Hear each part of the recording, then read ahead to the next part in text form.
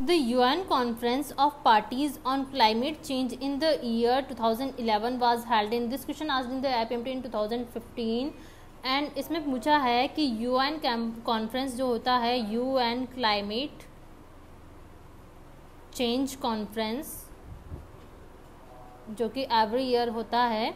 तो ये जो कॉन्फ्रेंस हुई थी 2011 के अंदर ये कौन से प्लेस पर हुई थी कहाँ पर हुई थी so it was held in Durban